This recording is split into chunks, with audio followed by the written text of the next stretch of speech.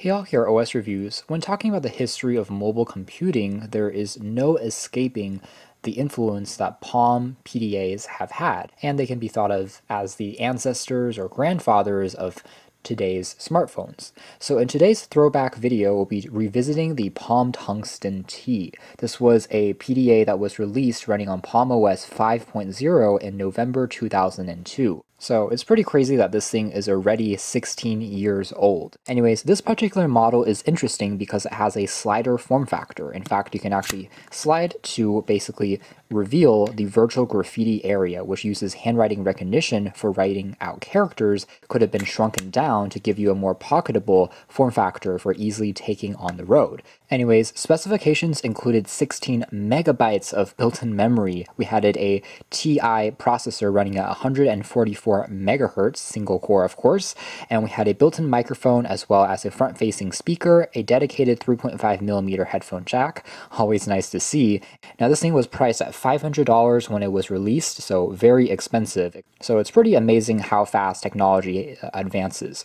The screen resolution is 320 by 320. Now, this was the first Palm PDA to come with built-in Bluetooth, so you could uh, kind of share information with other Bluetooth-enabled devices more quickly. It also had, again, a front-facing speaker, a telescopic stylus, and these were all new features for a Palm PDA at the time. As a size comparison, here is a modern day Android smartphone that has a 5.5 inch display. So you can see it's actually taller. Uh, this thing was a lot more pocketable, but it was also thicker as well on the side. Uh, the build quality of the Palm was made out of a fusion between aluminum metal and some plastic accents. So actually the build quality is still quite durable and premium feeling even after all these years. So taking a closer look at the design uh, more closely now, on the back is where we have kind of the Palm logo. We also have the charging connector pin, which is again proprietary. The top features the full-size SD card slot, which you can use to expand the built-in memory, as well as add the aforementioned Wi-Fi SD card if you wanted to have uh, wireless internet browsing. There's the antenna for the Bluetooth and infrared beaming technology. On the side is where you'll find a standard 3.5 millimeter headphone jack, a dedicated voice recording recording button next to the integrated microphone. And if I use to extend the display XO, it automatically wakes up the screen. And this is what it looks like on the sides uh, when the slider is all the way revealed. It says tungsten, and there's also a reset pin on the back, along with Bluetooth version 1.1.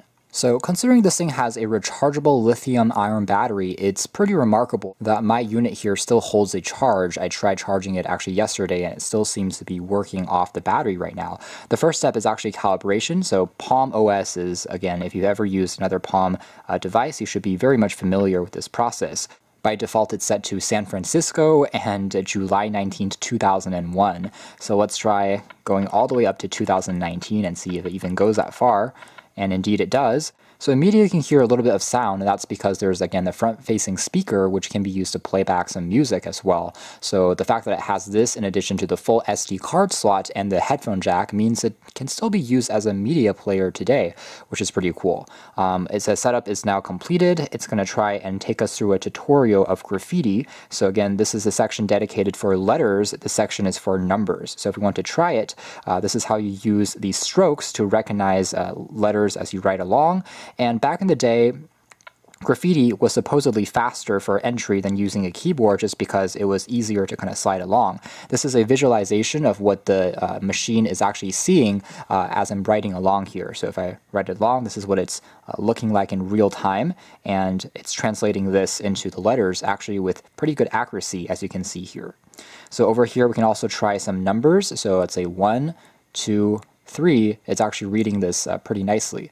Um, you can also tap on back there to go back uh, one space. And now there still is an on-screen keyboard, it's just very small and not very finger friendly because back in the day uh, it was really a stylus input world and it was not until really Apple introduced the first iPhone that devices and mobile devices in particular became super finger friendly. But anyways, you can tap on this very small icon to bring up a virtual keyboard and you can tell just really how small it is. Your thumb kind of obscures an entire portion of the screen, but it is there if you want to use to use it to pick out something really quickly and you can also choose between symbols and an international keyboard as well. All right, so initial impressions would be this is a pretty washed out display by 2019 standards.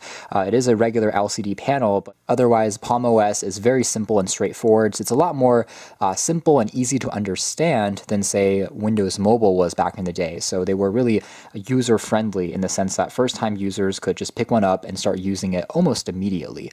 Uh, so Palm really doesn't get enough credit for how well their operating systems and UIs in particular are optimized. Anyways, uh, the Tungsten here also features some virtual keys. Now, by the way, this entire surface, of course, is using resistive technology, which is why we're using a stylus. It's not capacitive, so it's a plastic screen as opposed to a glass display, which we see on our modern phones. Um, so that's why you need to exert more pressure and use the stylus, or if you use your fingers, you have to press a bit harder on the display. Now, down below, we have a five-way navigation toggle toggle with an OK button, along with some quick launch shortcuts that takes us into the calendar, as you can see here.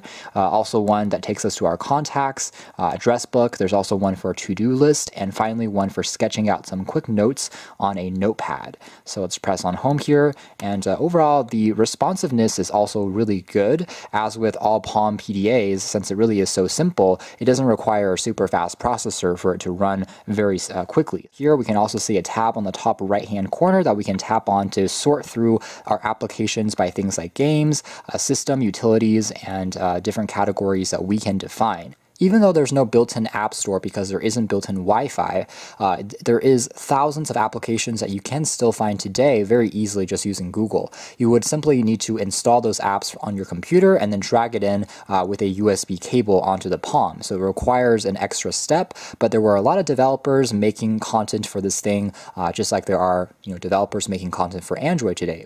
So again, Beaming is using infrared on the uh, Palm to share information with other Palm PDAs. You could share things like like contacts. You could share things like uh, you know small notes back and forth, and it works well enough if you are in a range of roughly, I would say, one feet or less. Uh, and then Bluetooth, of course, works well if you want to connect it to, let's say, wireless speakers, a, a headset, a cell phone, and it works with a larger range of around 10 meters. So you have both options on board here. You can tap on information to take a look at our device.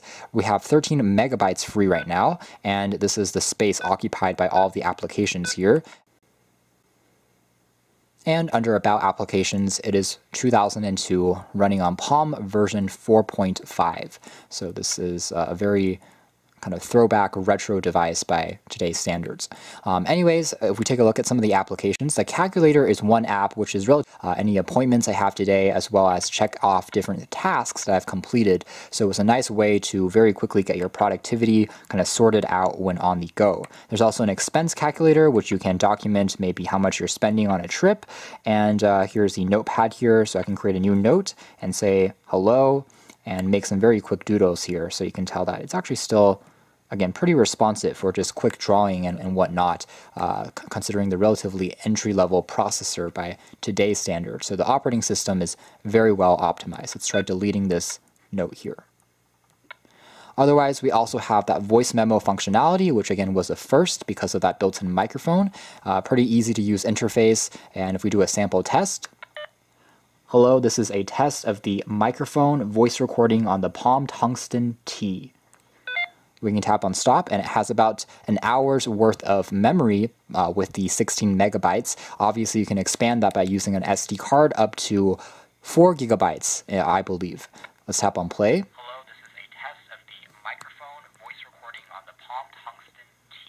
I can also tap on this little button on the graffiti area to add favorites that you can launch and you can set it by default to open up different tasks. And that's pretty much all of the built-in application. So it's very primitive, uh, especially considering there's no real even settings drawer that we can access to turn on kind of Bluetooth. There's no built-in MP3 player, there's no built-in image viewer, media gallery. All of those are not built in by default onto this Palm version 4.5 slash 5.0. So even though we have all these capabilities like a standard headphone jack, a microphone, and a speaker, if you wanted to expand on these features, you needed to really rely on third party party applications, which luckily there were a ton of, really shows you how, how far we've come in terms of mobile computing power and uh, technology. But in some cases, it's also surprising to see how far ahead Palm were back then, such as with this really interesting build quality made out of aluminum that feels sturdy, as well as this slider form factor, which I still think is pretty cool. So anyways, thanks for watching this throwback video here at OS Reviews. That's been a revisited look at the Palm Tungsten T